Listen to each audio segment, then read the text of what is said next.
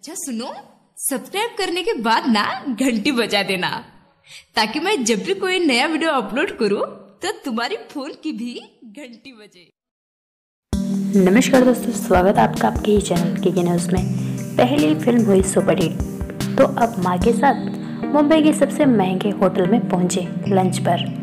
TV industry के popular अभिनेता सतीर अहुलेवाली इन दिनों अपनी फ़िल्म फिक्सर को लेकर काफ़ी ज़्यादा सुर्खियों में है।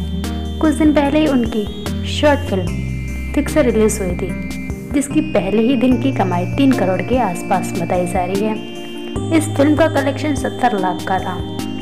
पहले ही दिन फ़िल्म सुपरहिट साबित हुई। आपको बता दें सब्वीर के करियर की पहली फ़िल्म थी, जो दर्शकों द्वारा काफ़ी ज़्यादा पसंद की गई है।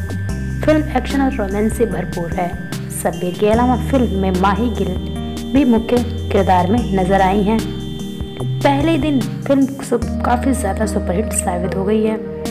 पॉपुलर प्रोड्यूसर एकता कपूर ने इस फ़िल्म को प्रोड्यूस किया है और तिंग मासू धूलिया ने इसकी कहानी लिखी है।